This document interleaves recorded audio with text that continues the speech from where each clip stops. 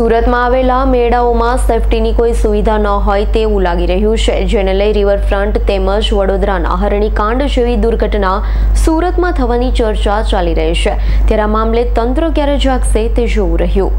વાતાવરણમાં આવેલા પલટાના કારણે હાલમાં મુંબઈમાં એક મસમોટો હોર્ડિંગ ધરાશય થતા ચૌદ લોકોના મોત નીપજ્યા હતા, જ્યારે અનેક લોકો ઈજાગ્રસ્ત થયા હતા. જોકે તેની અસર સુરતમાં પણ દેખાઈ હોવા છતાં તંત્ર દ્વારા આંખ કાન કરાયા હોય તેવું લાગી રહ્યું છે.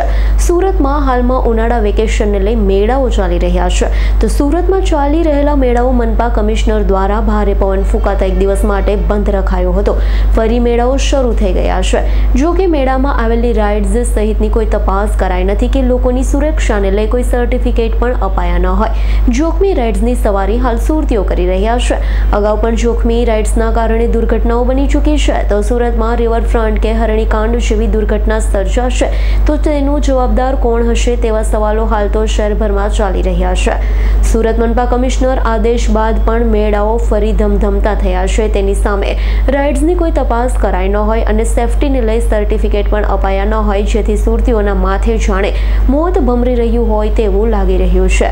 મુંબઈની જે દુર્ઘટના છે, જેને ફક્ત એક દિવસ વીત્યો છે કે જેમાં વાવાઝોડાના કારણે બેનર પડ્યું હતું અને જેમાં ચૌદ લોકોના મોત નીપજ્યા હતા. સાથે જ સૌથી વધારે જે લોકો છે, તે ઘાયલ થયા હતા.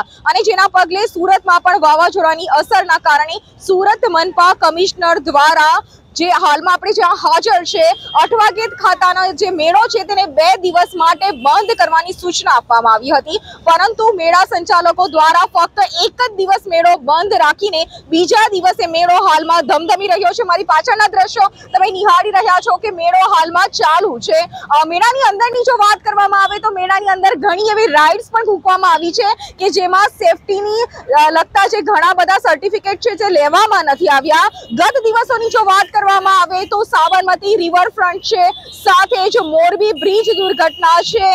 ઘણા બધા દુર્ઘટના છે જે દુર્ઘટનામાં ઘણા લોકો જીવ ગુમાવી ચૂક્યા છે. તો ત્યારે સુરત શહેરમાં ચાલી રહેલ આ મેળામાં જો કોઈ દુર્ઘટના સર્જાય, તો તેનો જવાબદાર કોણ? હાલમાં જ્યારે મનપા કમિશનરના નિયમોને ઘોડીને અધિકારી અને સાથે જ સ્થાનિક પોલીસ તંત્ર પણ ઘોડીને પી ગયું છે, ત્યારે તેવા સંજોગોમાં પાલિકાના અધિકારી અને પોલીસ તંત્ર સામે પણ સવાલ ઉઠવા પામ્યો છે. કેમેરામેન આસિફ શેખ સાથે મોનિકા પરમાર એસ ન્યૂઝ સુરત. અમારી તમામ માહિતીથી અપડેટ રહેવા માટે જોડાયેલા રહો એસ ન્યૂઝ સાથે.